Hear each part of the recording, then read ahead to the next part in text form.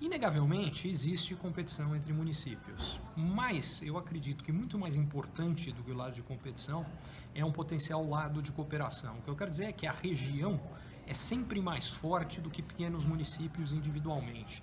O ponto, quando você tem uma estratégia para a região, a capacidade de atração de investimentos é muito maior do que um município isoladamente tenta fazer isso.